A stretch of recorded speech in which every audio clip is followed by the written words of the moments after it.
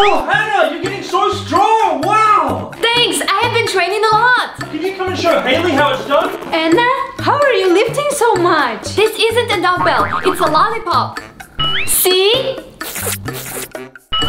Here, take it, Hailey. Wow! Thanks! Anna helped me to get stronger. That's great. Keep it up, guys. Oh, come on, uh-huh. Tony. You can't be slacking. Push. Come on. Let's eat our lollipops while Tony's training. Okay.